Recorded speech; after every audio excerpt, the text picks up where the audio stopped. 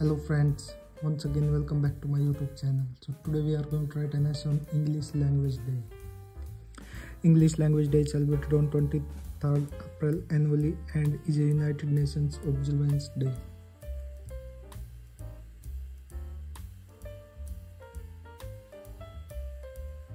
The English language is one of the most popular languages used across the world. The day prospects the development, history, culture, and achievements associated with the language. On this day, several events are organized, including book reading events, English quizzes, poetry and literature exchanges, and other activities that stimulate the English language. The main purpose of the UN's Language Days is to observe multilingualism and cultural diversity. The day also promotes the equal use of all six languages throughout the organization. English is the most widely spoken language or a world language. The day is the result of a 2010 initiative by the Department of Global Communications.